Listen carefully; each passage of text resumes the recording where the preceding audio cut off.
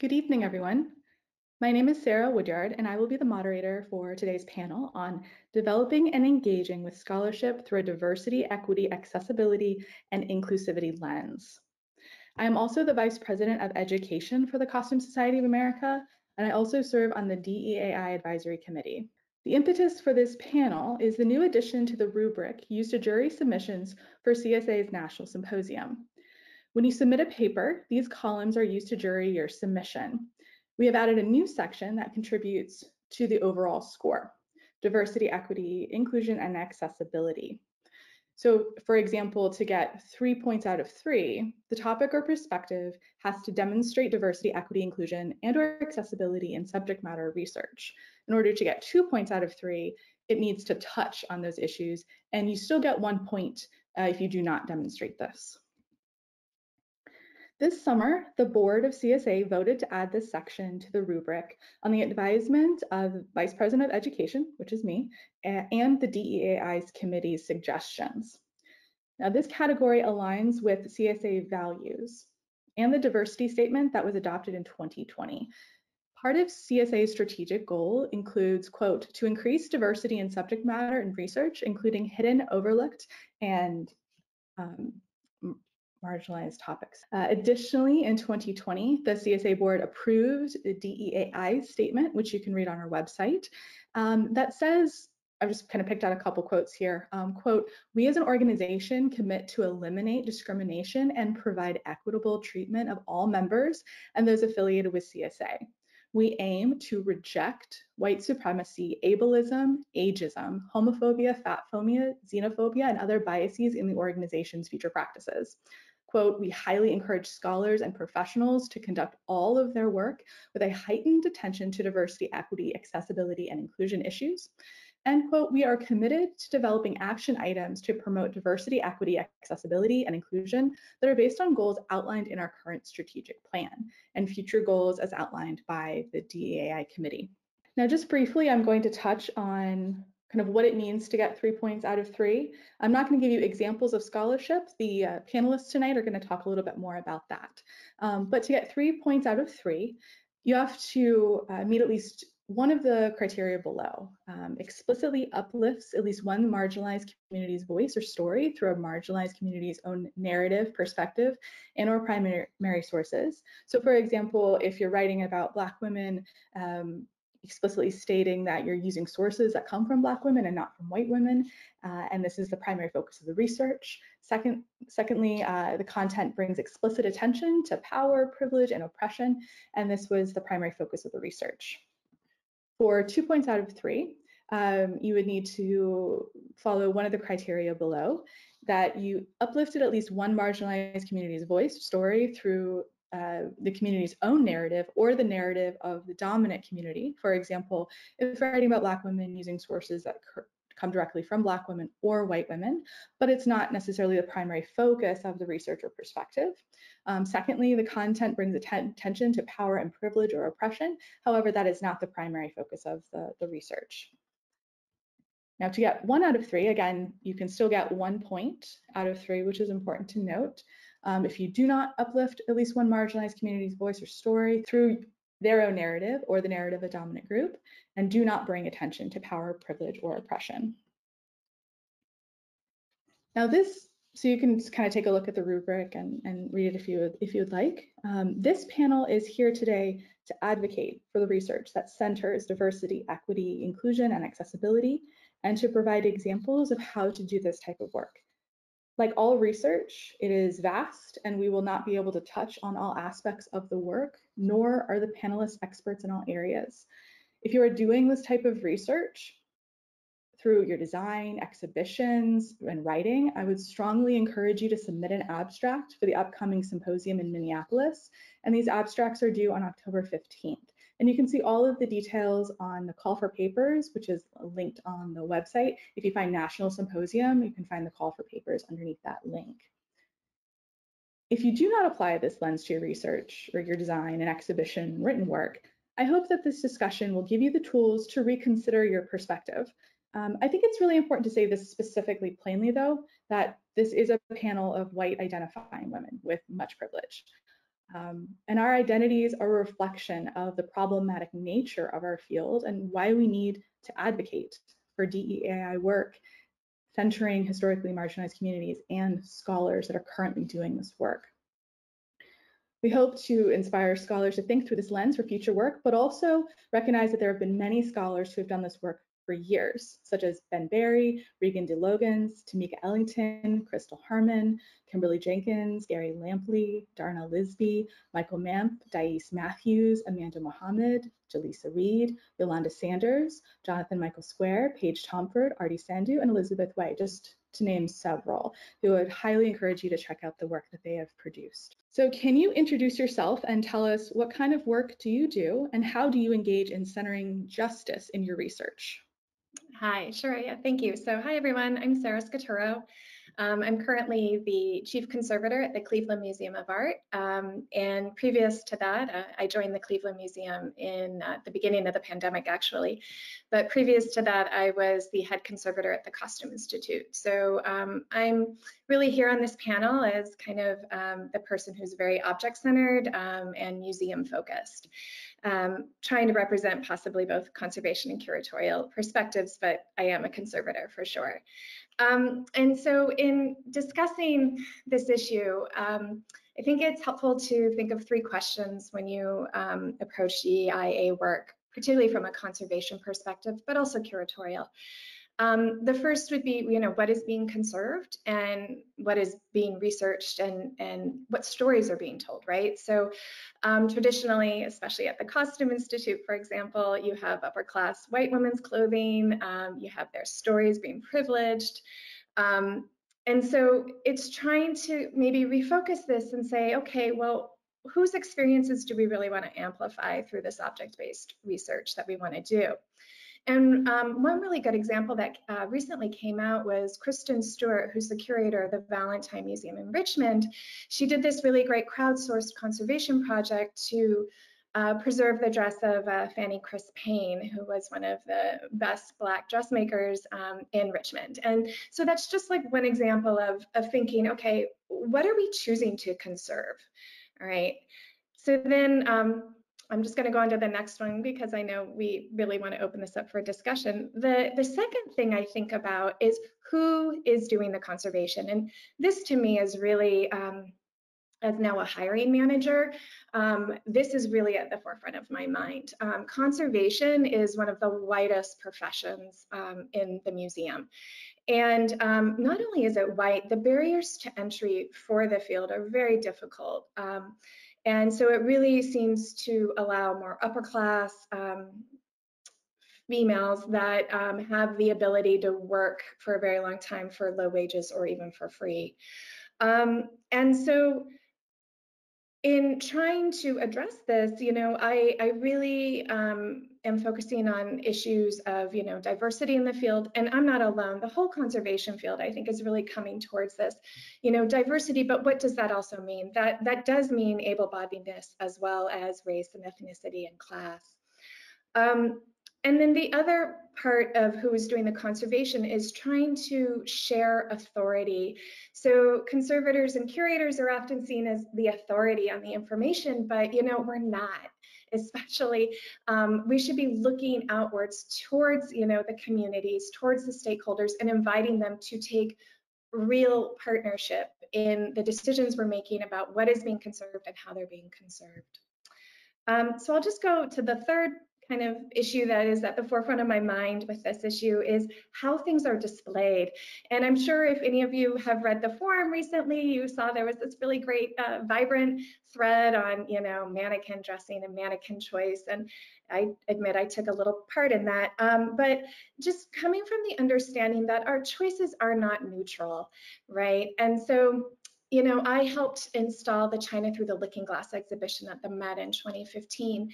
And all of the Western fashion was shown on these mannequins, and all of the Chinese garments were shown flat, abstracted on T-bars, and actually behind the mannequins. So, I mean, what does that tell people when they're coming to visit the exhibition? So it's these very kind of simple things, but you know, sometimes it just takes a moment for us to step back and understand that our choices in the curation and conservation of fashion are not neutral. They all mean something. Hi, everyone. I'm Katie Knowles. I am currently working as a contractor for the Smithsonian um, with the uh, American Women's History Initiative, as well as their Open Access Initiative. And my title is Representation Matters Metadata Coordinator. So my work is focusing on collections, metadata, and descriptive practices, focusing specifically on gender and how gender is documented in the collections across the Smithsonian. So everything from libraries and archives to museum collections. And I'm even trying to think about living collections like at the zoo and the gardens, which sometimes can be um, gendered an interpretation of trying to explain the natural world to visitors in ways that are creating um, replications of human centered gender concepts onto non human subjects, which is something I've never thought about before, but here I am. Um, and my research background, my academic background is in history. And so I'm trained as a historian. And my specific research for the last several years has been about enslaved people's clothing and textiles, um, specifically that enslaved people wear themselves, not necessarily that they're making for other people. Um, and I really, I, when I am doing my work, try to constantly understand um, how I am approaching it from my my moment in time, who I am in my life experience, and how that's impacting the way that I'm understanding the sources that I'm studying and I try to prioritize sources that are by the people who had these experiences. Um, as a historian who studies material culture, I'm kind of an oddball in the history world. Um, historians are rather notorious for studying change and hating it. Um, so I sort of came into um, history programs wanting to do museum work and curation and tailoring my uh, graduate papers and my dissertation toward material culture. And I'm glad that I had a program that accepted that as a topic um, at a time period when it really was was even more challenged than it is now.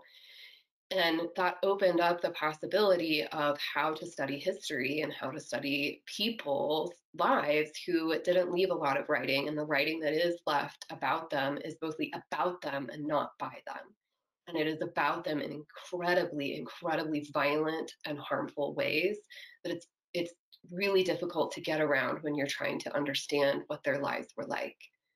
Um, and so that's kind of just a brief explanation of how i approach my work and really centering the experiences from primary sources of the people who lived these lives and also looking at the scholarship by people who are living more directly with the legacies of slavery in the 21st century today. Um, and so, primarily, then meaning um, African American scholars and Black people across the African diaspora.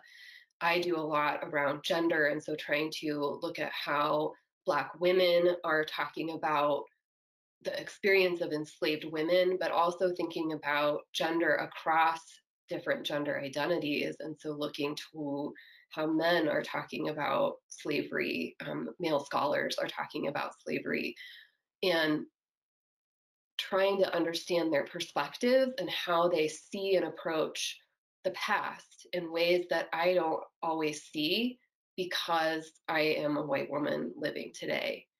And um, that has been really transformational in my work. I since I finished my dissertation, I've continued to study this topic for several more years.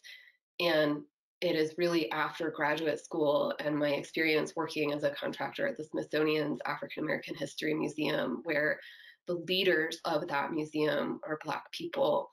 And we were looking to them to help guide the work that I began to see my work in even more ways as um, something that I needed to continue to develop and, and challenge how I was seeing and reading the sources. And I think that is the most important thing that I have learned about doing social justice centered work is that no matter what you have produced, there's always a space to look at it again and say, okay, what did I miss this time? That doesn't mean that you don't put it out there because you've got, got to put it out there at some point. It means looking at it and saying, okay, what do I feel strongly about that I did well here? And where did I miss something? Either because somebody else pointed out to me or I noticed it later. And how do I not do that again next time? So I will kind of leave it at that as the sort of understanding that this is constantly an ongoing, unfinished process um, for anybody who is doing this work. I think no matter what your background is, we all have gaps in our knowledge and our own lived experiences that will uh, impact how how we are doing this work. Thank you, Katie. Kelly? Hi, everyone. I'm Kelly Reddy Best, and I'm an associate professor at Iowa State, and I also direct the ISU Textiles and Clothing Museum. I also have my co-presenter here with me, Mabel. so, um, and so in my work, I largely look at the representation and experiences of historically marginalized communities in both in different parts of the fashion system and largely also in fashion curriculum because I am a professor. Um, and so almost all of my work is um, is largely rooted in social justice um, with aims to promote social change and largely like how our identities and like how our experiences are um, regulated by cultural norms. And so I have like four guiding questions that I um, that I usually ask. Um, and so I usually ask, you know, how is the fashion system creating space for historically marginalized communities? How do historically marginalized communities negotiate their identities? Um, and then how are they represented in both current and historic contexts? Um, and so I'm largely trained in social science research. Mabel's very excited about all this, um, and also um, history as well. Um, and so I largely center marginalized identities by the content of the topics that I'm asking. Or if I'm not centering a specific community, I'll bring attention to power, privilege, and oppression by drawing upon various theoretical texts, which I'll talk about in the in the next question. So I'll go ahead and stop there though. Well, do you want to go ahead and move on to section to the second one since you were just chatting about it? Um, so sure, yeah, if you yeah. want to expand on what readings, objects, or exhibitions have changed the way that you do research, and we can just kind of go backwards back around. That's okay. Yeah, of course. Um, so there have been um, many um, reading. It's largely readings for me, um, and so because I uh, teach, um, I'm often you know, pretty engaged in the literature. I teach like a graduate level um, course called Social Science Theories of Appearance, and we're often like reading deep theoretical texts. And so a lot of mine um, in the resource that I believe will be shared um, with the group um, are theoretical texts. Um, and so I would say one that largely just changed the way I think is this text by um, Kafer, and it's called Feminist Queer Crip, and it was published in 2013. And that book really changed my whole perspective on time and ability and really thinking about like how I view scholarship and disabilities and the intersection between feminism, queerness, and ability. Um, I would also say that um, another text that has really just changed my, or just different scholars too, like Ben Barry's work just is so, I'm always like so inspired by his criticism and like how he frames research. Um, and so I would say Ben Barry's work, um, specifically, he just published a really insightful paper in fashion theory called Intersectional Interventions into Queer and Trans Liberation Against Right Wing Populism Through Fashion Hacking. And really, just the whole approach to that paper um, and how he answered research questions and how he built the study it was really inspiring to me. Um, also, um, uh, like thinking also about um, tribal crit theory um, so Brayboy's um, paper that was published in 2006 has also um, been really informative for me, thinking about Indigenous ways of knowing. Um, and that largely came from um, uh, sadly, my graduate student who passed away, Dana Gooden, um, she taught me a lot about Indigenous ways of knowing and thinking. And so I, honestly, it's my students who also really inspire me, like who I like, who are really challenging me all the time. And I just love it. Thank you. Katie, can you answer that question? What readings, objects, or exhibitions have changed the way that you do research? Yeah, um, I also I put three sources in the bibliography that I think is being shared um, that are are things that I come back to frequently. Um, and two of them are theoretical. One is a, actually an edited collection of like essays and poetry and art called "This Bridge Called My Back," um, writings by radical women of color. That was published in I think 1980. I don't know, early 80s. Um, and it's since been reissued several times. And it is women from all different kinds of backgrounds and intersecting identities that are writing in a lot of ways in response to the women's liberation movement of the 1970s that they felt very excluded from, as well as civil rights movements that they felt excluded from, including um, the African American civil rights movement, the Chicano movement, um, and the gay liberation movement that just were not paying attention to women and were silencing them a lot of times in the name of prioritizing male leadership. And um, there's there's a lot of really great pieces in there that come at it from different angles and always make me rethink things. Um, but if I was actually going to point back to one text that really put me on the path of my research trajectory I think it was in college, I took a class about the history of women and slavery, and we read Incidents in the Life of a Slave Girl by Harriet Jacobs. And I, I think looking back, it was the first time I had ever read something by a Black woman who had experienced enslavement. Um, so it took me to, to college to get there, but I somebody finally put that something like that in my hands. And reading about her experience with her enslaver who rather oddly asked her permission that he wanted her to be his mistress.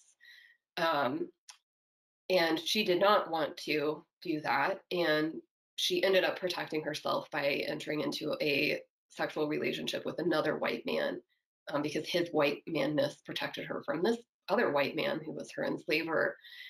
And that's you know a really complicated part of the story but what really stood out to me was her relationship with um, her enslaver who was the wife of the man who legally owned her and who berated and threatened and was very abusive to harriet jacobs because she felt threatened by her husband's desire for harriet jacobs his desire for power. And instead of being cognizant of the relation, the power dynamics of that situation, of how that how damaging that was to Harriet Jacobs, her um, the mistress, um, was just for for the causing causing further harm. And I I I remember thinking I don't want to be the type of white woman who does that. And I think that is why I entered onto the the interest that I had in really understanding the experiences of enslaved people and what that was like. I did not grow up in the South at all. Um, and so I didn't have direct local knowledge or experience of, of that environment growing up and the legacies of it in that very direct way that in the, that happens in the South that is different from the legacies of slavery in other parts of the United States. Um, and I I really think that that reading that book was and hearing what Harriet Jacobs had to say about her life and how hurtful it was that this other woman, this white woman, couldn't see and couldn't be there for her. It, it it changed my understanding of how I could be and do this work. Thank you, Katie. Sarah? Yeah, um, I don't think there is just one text that set me on my way. I mean, I'm still learning. Um, I'm this is I'm still a work in progress. Um, I would say that um, you know I'm I'm a doctoral student at Bard Graduate Center, and through my exams, my reading exams, and you know my courses, that's when I started really getting exposed to a lot of conservation theory and understanding that there were um, there were different approaches from what I was taught.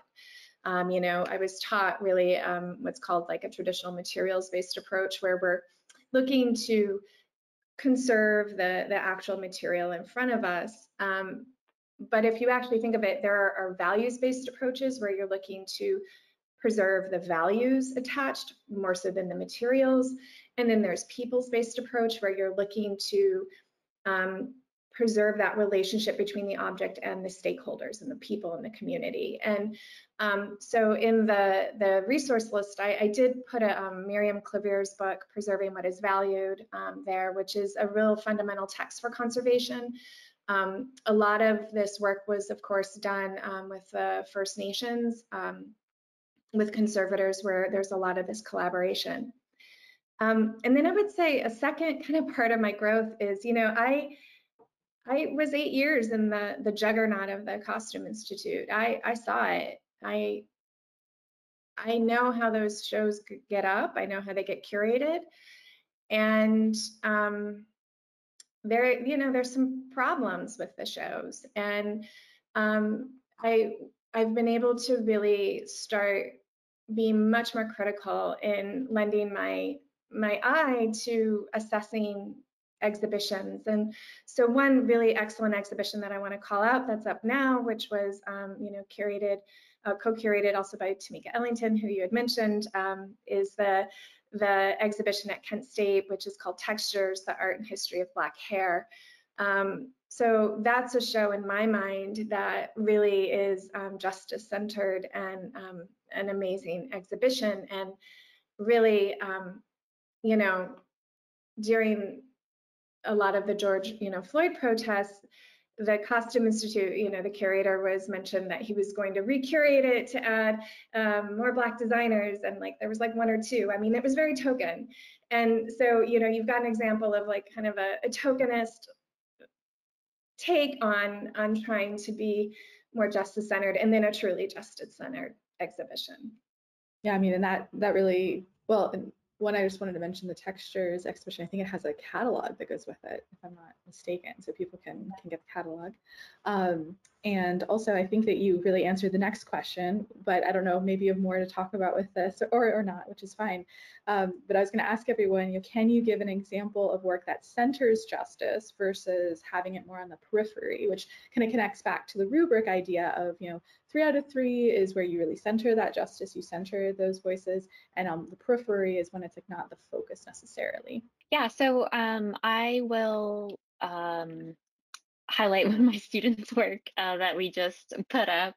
Um, my students and I and my co-curator Jennifer Gordon, um, they just did. We just uh, did a collaborative project, um, and I'll put the link to it in the in the chat.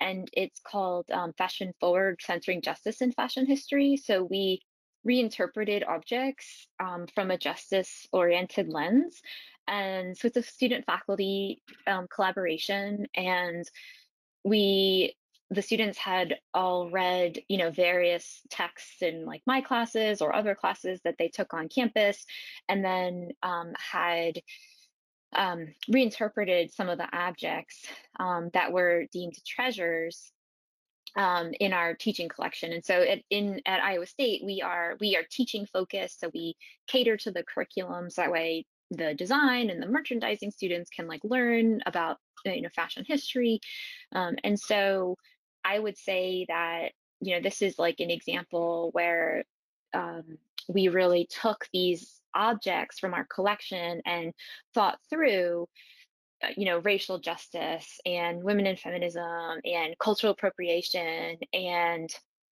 socioeconomic and class barriers and environmental racism. So not not only looking at things like um, sustainability, but like the intersection between um, racism and uh, uh, sustainability and how that is, um, you know, it, it oftentimes disproportionately impacts communities of color, right? So we were really trying to think through those those things to tell um, to retell stories. Um, and so the students, I'm a proud professor over here, built this awesome uh, digital uh, catalog and then also are mounting it right now. And so I'm like really proud of them.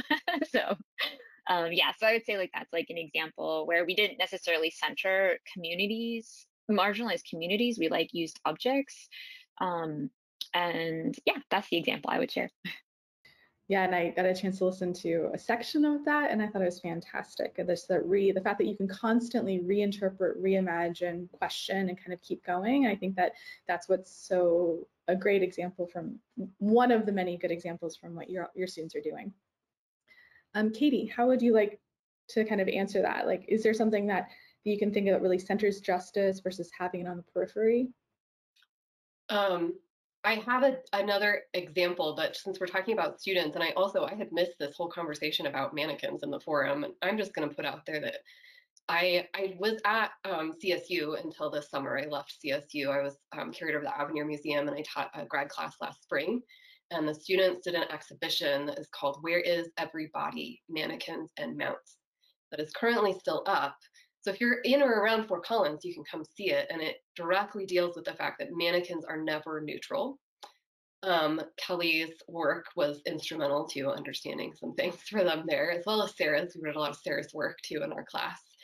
And um, if you aren't in Fort Collins, then follow the Avenir Museum on social because they have been sharing a lot of um, content that is from that exhibition. And the students did just, they thought of things that I hadn't thought of as they, you know, as they always do, and ask questions in ways I hadn't been thinking. Um, and presented an exhibition that is primarily of white, as in like true white colored mannequins that talks about diversity um, in a, all of its different forms, able-bodiedness, age, race, um, gender. It, they did such a fantastic job. Anyway, I'll stop rambling on about them. Um, this actually is calling out um, a different class that I taught a couple of years ago and comparing it to how they interpreted um, this um, topic versus an exhibition that the Smithsonian did that features um, the same story.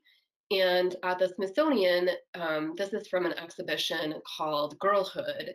And I will, I think I can put the um, link here in the chat for everyone and you can go to the page. Um, so it's still up digitally. They have a section on fashion, and there is um, in, within that section a page called Girls Have Fun, 1890s to 1910s, and it mostly talks about um, you know, fashion of that time period, women moving around more in society, um, bicycling outfits, the shirtwaist, um, the Gibson girl, and then there is, um, as you scroll down, a part about hat pins and it says young women used hat pins to keep their large fashion statements attached to their heads. And then it's in the next part it says while one end was decorative, the other could be a deadly weapon. Americans worried about young single women alone in cities, and journalists seized on the hat pin as a form of self-defense against sexual assault. This I would consider more of a peripheral kind of it's it's dealing with the topic but it's not centering or prioritizing the experiences of the young women. They are not the actors in the story. So it says americans worried about young single women. And then it says journalists seized on hat pins and it has a um, graphic from an, a newspaper of the time that gives you this like step-by-step way to defend yourself from sexual assault which is really quite interesting. Um, but the um, other example that I have is from an exhibition that um, we did at the Avenir that was called Respect the Dress. That was about women's rights activism in US history told through dress. How did they engage with, with clothing and activism? And um, I, one of the graduate students who was doing the research for the exhibition um, found the same secondary source that talks about this, this issue in this time period. And we used a different example from another newspaper that was about a specific woman. And the content in this exhibition said as the 20th century neared, women began to move around public spaces more frequently. Americans flock to growing cities. Um, crowded trains and elevated rail cars could bring women into close proximity with men, which sometimes encouraged unwanted physical advances. Uh, newspaper articles around the country recounted sensational stories of women using the fashion for large picture hats to protect themselves. Because of their size and the puffed hairstyle popular, women used very long hat pins to secure these hats to their heads. In the case of Leoti Blaker, the young woman was not going to allow an older man to put his hand on her lower back while riding in a crowded stagecoach. She removed her hat pin and stuck it right into his arm, causing him to scream loudly and leave the coach. She told the paper she used her hat pin another time to ward off a would-be robber from stealing her handbag. And so here, she her she is the actor in the story, and that to me centers this more. Um, oh, sorry, I can tell you what page it's on. It's on page um, 14. And um, now I didn't have the same label constriction um, length uh, here, and this was really representing this era in the exhibition. Um, but one thing that I think, again, like looking back critically, like what would I do different? Talking more about the fact that she is a young white woman and she's like this innocent from Kansas who's come to the big bad city of New York. She has a lot of privilege. And the reason that this is an item of interest in the newspaper is because of her young, attractive white womanhood and that is not brought up in the exhibition in the in the label. And so while i do think it centers the experiences of these young women more than the, the other example there's always still again room to do something more. Um, and so that's the example that that i had there. Yeah fantastic. Thank you katie. It just reminds me of everything that's going on right now in the news. You know it's still an issue so we do have one more question that we kind of prepared. However, it's 744. And so I kind of wanted to ask the panelists, would you like to continue the, our discussion or do you want to kind of turn towards questions for, from the audience? I think we should take questions. Okay, sounds good. Um, let me go back up to, okay, so we had one at the beginning and they say, dear presenters, if you have time, my question is, developing, engaging, and publishing. Where can the scholarship be published? What steps can be taken to provide a venue for the scholarship in CSA journal dress? I would say that uh, Tina, the editor of Dress, is really receptive uh, to work that centers DEAI. Um, I personally have put manuscripts in review with her, and um, she's open to knowledge and ideas that you know even sometimes i'm not familiar with these ideas until i research them and then because i might be uh, doing a project about um, like the queer and trans community and you know i might not have known i am a cisgender person so i might not be super familiar um, with everything of course you can't be an expert in every area and um, i have found that uh, Tina has been really great. Um, I, I, would definitely uh, say that. I think it's uh, certainly welcome. And also, um, the DEI DEAI committee has been uh, working with all the different um, areas, and I'm pretty confident that they are interested in in having submissions that centered. Yeah, thank you. And of course, you and um, Denise Nicole Green did a special um, feature um, about queer fashion a couple years ago. So if people are interested in, in that, that's available. Katie, did you have something that you wanted to add? yeah, um, I think the other place to look is in, you know, what journals that are from that area of like the group of people you're studying. And so for Kelly, maybe she looks at queer studies um, and those organizations and the journals that they publish. Um, certainly, I'm looking at also just history or public history, as well as African American history, gender studies, um, um, indigenous um, studies, all of those different groups of, of scholars have their own journals.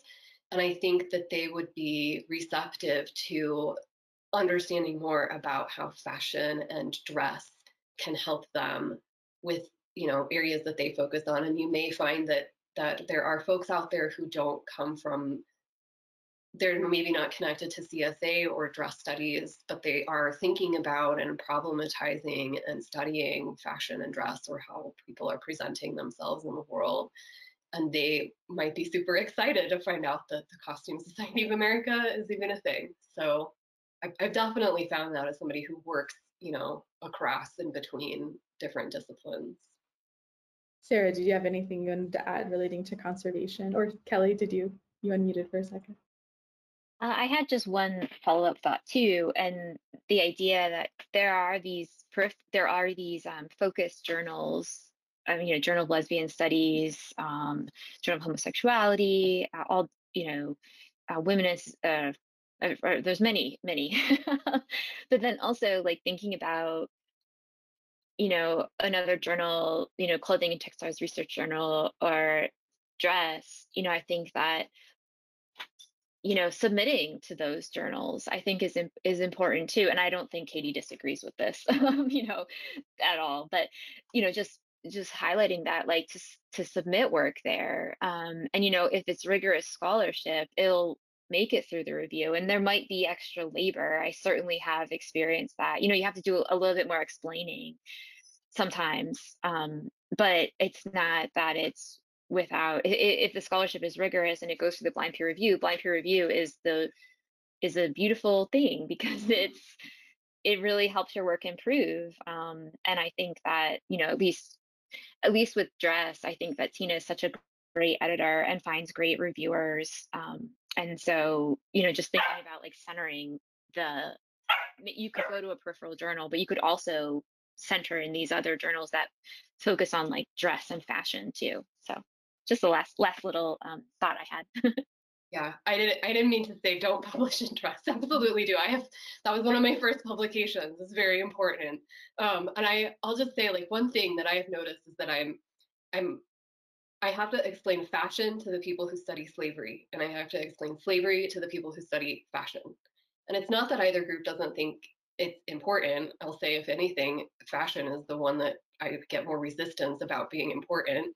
Um, so it you know it's, it's there's always some level of explaining that i'm doing to people about not just why the work is important but how to understand it um, and just when you are submitting to different kinds of journals whether it's uh, like ctrj is also going to be a different experience than dress um, that you just think about the audience of that journal and what part of your work might you need to explain and flesh out a little bit further that you would just assume another audience would know that that scholarly background. Yeah, and I would also just say that um, you know there are alternate models of distribution. There are a lot of really great online journals. You know, Ben Barry and Alison Matthews David. You know, um, their fashion studies journal, but um, you can think of like digital humanities projects like Jonathan Michael Square's Fashioning the Self. Um, so there are, is alternate, you know, there are alternate ways of getting out your research. Um, yeah. Yeah, absolutely. I'm glad that you brought up those different areas because there's such like good work being happening actually in those those other spaces too. Everyone should submit to dress, absolutely, but also you can also have there's other options too. Uh, there's a question from another Sarah. You're in good company. How can we center marginalized communities in research that seems quote unquote unrelated without seeming like it's forced or the connections are weak? For example, or i.e., how do we do this in an honest, meaningful way when developing research purposes? Um, I'll just say one thing briefly. I think that, thanks for the question, Sarah. So I think that in that instance, it's like thinking about power, privilege, and oppression. And if you're not centering the the group, like a marginalized group, right? You might not be studying queer and trans people, but if you're not, are you only describing the folks who you're looking at as people versus cisgender people, right? And so it's like the marking versus unmarking concept and really thinking through that. And and I think too the important part of like you know making sure it's honest and meaningful doing thinking really about your own positionality in this space like what are the blinders that i have right i don't really know a ton about indigenous studies so what blinders am I having around those ideas? And so that's what I would say is like, you, there's always a, I, I mean, this is my personal opinion, of course, but I think that there's always a, a place that where you can, no matter what, always look at power, privilege, and oppression, no matter what group or time or era or uh, lens you're taking. Um, it's just, you know, are are you thinking about those ideas? And then that goes back to like you know how do you do that? It's just reading i would say engaging with the kind of literature that that changes your mind that like changes how you think which is like for me it was feminist queer crip right? Like i read that and i now just totally think differently about time and the body and space. So that's what i would that would be my um, advice. Yeah you know i'm I'm kind of going through this myself. So I'm a, a, doctoral student and I'm writing my dissertation on the development of costume conservation. And you know, when I when I proposed it, I was like, oh, I'm just gonna trace textile conservation and dress studies and this nexus at con costume conservation. And what I'm now starting to really think about is is who who created the practice and why what were their ways in what was the use of unpaid labor is actually a, a major focus. Um, you know, the issue of volunteers, why, you know, how does gender play into it? How does class play into it? Um, and so I'm, I'm trying to complicate this timeline that I was creating and am I centering it? I, I still don't know if I am. Um, maybe it is something that's on the periphery. Uh, um, I, am still struggling myself with this. Um, yeah, but I'm, I'm thinking about it, trying. I think that that's, you know, there's always um, the, the theories behind um, doing this kind of scholarship are, are exactly these um, power, privilege, and oppression that Kelly keeps talking about, that those are things that are always present, no matter who is the topic of your study. So if you are looking at the dress practices of Wall Street bankers in the 1950s, who are, you know, they're wealthy white men who have a lot of power and privilege, the way that you frame your purpose and your questions can reveal how perhaps they are using dress to reinforce their power. And then you begin to hear and to see the voices and experiences of people who are not the primary topic of your research, because they're the ones who are being impacted by the reinforcement of power and privilege. They're the ones who are being oppressed in the story. And while you don't necessarily need to center their voices if they are not the primary topic of your research, they become present in a way that's not just a token. It becomes, you know, they're there in the story about these people who you are talking about.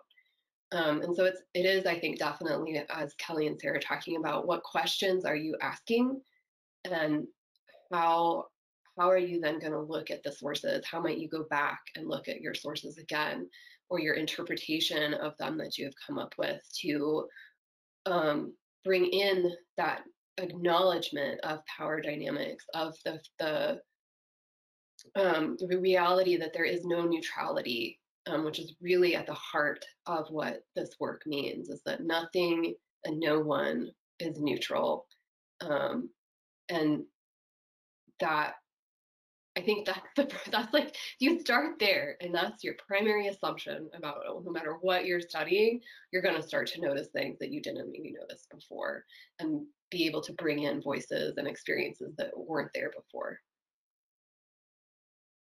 Um, I should also say too, like there are probably white men on Wall Street, like they're also this is the other part of this. They have a lot of power, but the system of power is also limiting them in ways that they probably don't see. And to study that is very challenging um, without just sort of falling into the the trap of reinforcing their power instead of being um, you know critical of of how they are maybe grabbing more power and um, at the expense of other people's um, lives and using it in order to kind of reinforce the situation that they don't see as as harmful and limiting to themselves well do we want to um, end with um, one suggestion that people might like, you know, if you had one piece of advice for folks who might want to move forward, um, what would that be in our last kind of two minutes? And I'll, uh, Katie or, or Sarah, I'll go ahead and let you all go first. I guess I'll start. Yeah. Um, well, the status quo is not neutral. I'll just say that. Um, you know, speaking from exhibitions, exhibitions are one of the most charged, you know, activities you can take, and preservation and curation, all of that. Um, every choice you make, there's a reason why you're making that choice, and um, it, it's once you start thinking of it, you you kind of get blown away with what all it means. I think I would say to just put it, do the work and put it out there and don't be afraid. Like that is something like I still struggle with it sometimes like what is the reaction going to be? I think we all were a little nervous about doing this this panel this evening because sometimes somebody shows up and they just they want to be argumentative, they don't want to be accepting. Um, and it's coming from a place of defensiveness on their part that can make you then be defensive. Sometimes it's also coming from people who just they don't know and they are genuinely ask genuinely asking a question of you, trying to understand something. Um, and it's always something too where it's like it's never gonna be it's never gonna be perfect. And so many of us, I think, that do scholarship and are working in especially in like universities, producing publications, doing a lot of that kind of work, like we're very driven people were like perfectionists. And so it's you know there's importance and beauty in the imperfectness of this work which it will always be because it, we are reflecting the imperfect nature of our world and how we are understanding it and trying to do better at it to be more equitable about whose voices and experiences we are listening to and uplifting and are reading about and um, who are participating in creating that scholarship. But it, you know, be, I would say be careful with your work, but and you, you know, you care when you're doing the work. You want to make careful decisions about what you're putting out there, but you don't want to be operating from a place of fear. And I think that's a question I've started to ask myself. Why am I making a decision here to change something? Is it because I'm afraid? Don't come from that space because that's when you will continue to cause further harm when you when you won't put out the work that truly does center marginalized and minoritized people. Uh, and i would just say the first thing is to just begin where you are and just acknowledge wherever you're starting like i didn't take my first i didn't understand the dynamics between power, privilege, and oppression.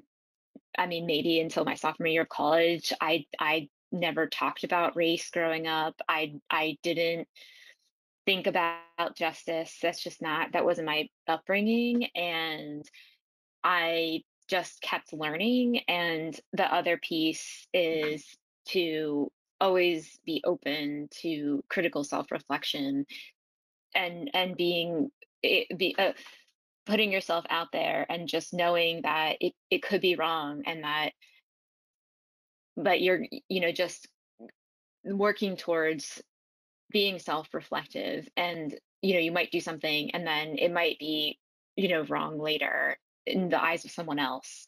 And um and of course there's tension in that because it can be really harmful right? So it's like just having that dialogue and um, just surround yourself by critical people who can be critical of you and be open to that that has been my best um, experience really is just beginning where i am and then just knowing that i might make mistakes and that try, trying to surround myself with critical people to criticize my work.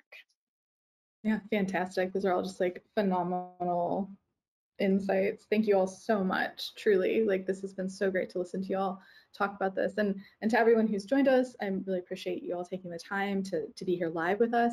Um, of course, this is going to be, this is recorded, and so it will be on the YouTube channel for CSA, as well as other panels that have been talking about similar topics as well. So feel free to kind of dive into that. Um, so I just kind of wanted to, to close by saying one, you know, again, thank you all, but also if you're interested in the power privilege specifically about CSA and like justice relating to CSA, um, there is the DEAI committee. Like, please feel free to to join that if you're interested in those topics. And also, if you're doing this research, I just want to reiterate, please submit an abstract if you're able to. Um, to the national conference, and the, those abstracts are due by um, October 15th.